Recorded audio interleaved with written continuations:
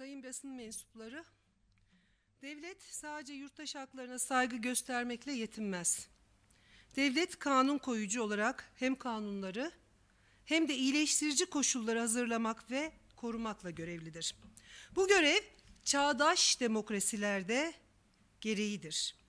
Anayasamızın sosyal devlet ve sosyal adalet ilkesi işte bu anlayış ve gereklilikten doğmuştur. Ne var ki 19 yıllık AKP iktidarının kök salan uygulamaları anayasamızın teminat altına aldığı sosyal haklar sistemini acı ki bir enkaz yığına çevirmiştir. Milyonlarca yurttaşımız uygulanan yanlış ekonomik ve sosyal politikaların bedelini sefaletle, açlıkla, yoksunlukla ödüyor. Size saray kabinesinin Türkiye'nin gerçeklerine nasıl yabancılaştığını ve halkın sorunlarından ne kadar uzaklaştığını bir örnek üzerinden anlatmak istiyorum. Hepinizin bildiği üzere Türkiye Büyük Millet Meclisi adına Cumhurbaşkanlığı hükümet sistemi denilen ve dünyada eşi benzeri olmayan bir yönetim anlayışıyla fiili olarak denetim yetkisini kaybetti. Şu bilinsin ki bu iddiamız ezbere değildir. Bir milletvekilinin ya da siyasi tüzel kişiliğin hükümeti veya kabineyi nasıl ve ne koşullarda denetleyebileceği yasalarımızda net bir şekilde bellidir. Bunun için elimizde iki olanak vardır. Bunlardan birisi soru önergeleri, diğeri ise bilgi edinme talepleri. Değerli basın mensupları, bilgi edinme hakkı üçüncü kuşak temel hak ve özgürlüklerin en önemlileri arasında yer almaktadır. Çünkü bilgi edinme hakkı iyi yönetim hakkı ile yakından ilgilidir. İyi yönetim hakkı ise demokrasinin emniyet garantisidir. Zira iyi yönetilen ülkeler halkına karşı hesap verebilir bir anlayışla yönetilmektedir. Hiç kuşkusuz ki iyi yönetim ilkesinin hayata geçirilmesinin en önemli aracı kamu yönetiminin şeffaflığıdır. Bu ihtiyaç demokratik ülkelerde bilgi edinme mevzuatının eksiksiz ve sansürsüz uygulanmasıyla gerçekleşir. Oysa Türkiye bugün bir keyfiyete teslim olmuştur. Atanmışlar seçilmişlere karşı hiçbir sorumluluk hissetmeden son derece vurduğum duymaz bir anlayışla ülkeyi şekillendiriyorlar. Özellikle 2017'deki mühürsüz referandumla doruk noktasına ulaşan demokrasinin tasfiye süreci bugün çok tehlikeli bir hal almıştır.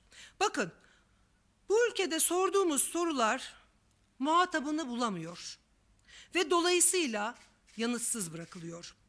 Muhatabın kim olduğunu bildiğimiz konularla ilgili başvurularımız ise bilgi edinme kanununun ruhuna aykırı biçimde reddediliyor.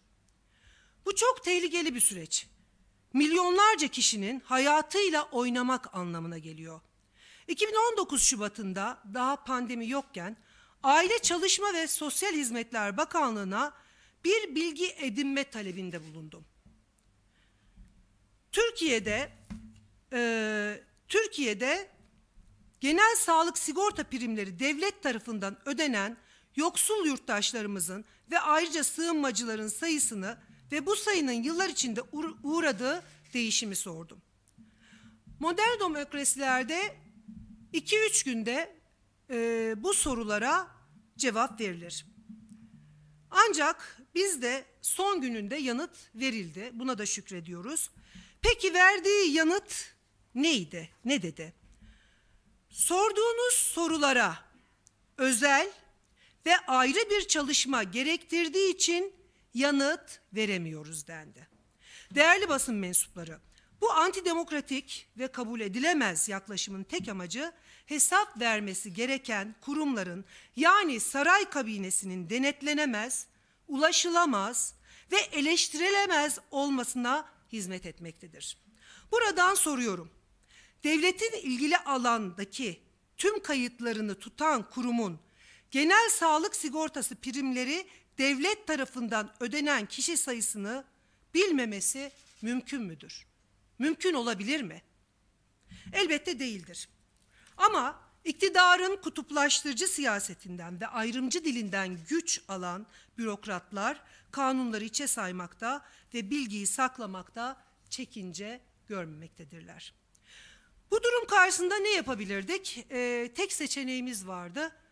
Biz de o seçeneği kullanarak bilgi edinme değerlendirme kuruluna başvuruda bulunduk. Bu bilgiyi alamadığımız için itiraz ettik. İtiraz dilekçesini verdiğim tarih ise hemen akabinde e, Şubat ayının 2019'un akabindeki 18 Mart 2019 tarihiydi. Peki Bilgi Edinme Değerlendirme Kurulu başvurma ne zaman yanıt verdi? E, tam iki yıl sonra. Tam iki yıl sonra. 11 Şubat 2021 tarihinde. Hani Cumhurbaşkanlığı hükümet sisteminde kararlar hızlı alınacaktı. Devlet bürokrasiye boğulmayacak, işlemler ışık hızıyla yapılacaktı.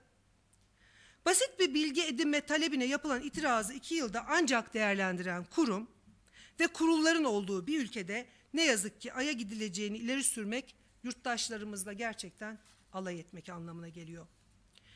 İktidarın siyaseten söyleyeceği söz tükenmiştir, gideceği yol bitmiştir. Ancak kamu yönetimine sirayet eden hukuksuzluklar ve haksızlıklar devam etmektedir. Daha önemlisi, kurumları işlemleri yönünden denetlemesi gereken ve idari bakımdan tırnak açıyorum, sözde bağımsız olan Bilgi Edinme Değerlendirme Kurulu da adaletsizliğe ortak oldu. Sormuş olduğum sorulara aldığım cevap. Genel ve soyut nitelikte muğlak bir başvuru olduğu için cevap verilemedi. Kamu idaresinin ilk başvurduğum işleminde haklı olduğunu belirtti bu gerekçeyle.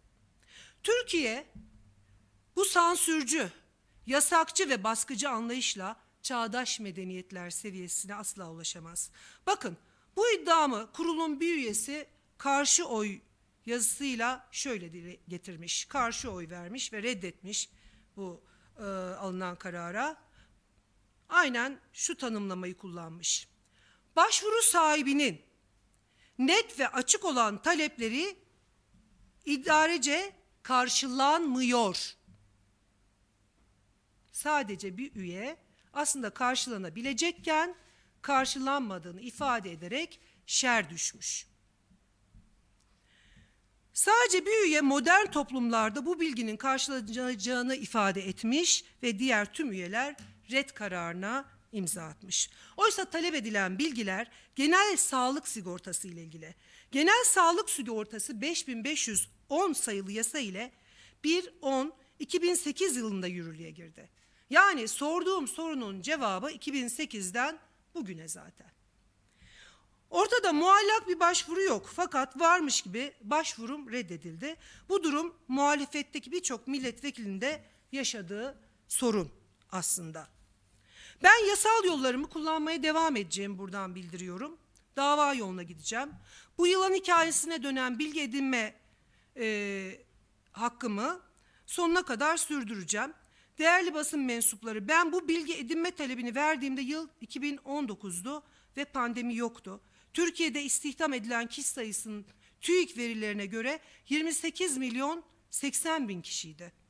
Bu sayının yüzde 35'i yani 9 milyon 692 bini sosyal güvenlik kurumuna kayıtlı değildi. Yani kayıt dışı çalışıyordu. Sokaktaki her 10 çalışandan 3'ü kayıt dışı çalıştığı anlamına geliyor ve sağlık hakları bakımından da güvencesiz iş havuzunda yer aldıkları anlamına geliyor. Bunu şunun için vurguluyorum. Türkiye 2020'nin başında pandemiye yakalandığında en az 9 milyon 692 bin kişinin hiçbir sağlık, sosyal ve ekonomik hakkı yoktu kayıt dışı olduğu için. Tekrar vurguluyorum. Çünkü onlar Sosyal Güvenlik Kurumu'na kayıtlı değildi.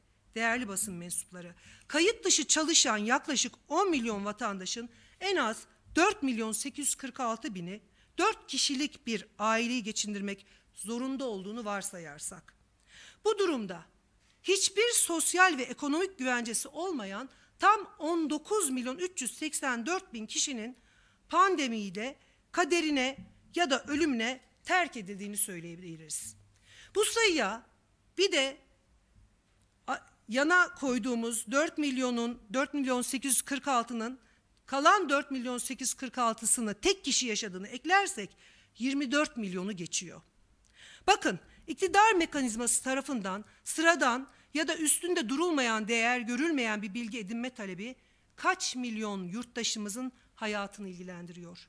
Gerçek şu ki Covid-19 salgınıyla birlikte tüm vatandaşları kapsamına alan bir sağlık hizmeti sunan ve finanse edebilen, edilebilen bir sosyal güvenlik sistemine ihtiyacımız var. Ne var ki saray kabinesi beş maskeyi bile dağıtamadı. Bu alanda da sınıfta kaldı. Biz Cumhuriyet Halk Partisi olarak işte bu bozuk düzeni yıkacağız. Karşıyız bu bozuk düzene. Biz 83 milyonu Londra'daki bir avuç tefeciye mahkum eden bu sığ politikaları reddediyoruz. Elbette eski genel başkanımız merhum Bülent Ecevit'in deyişiyle bu bozuk düzen değişecektir ve biz değiştireceğiz.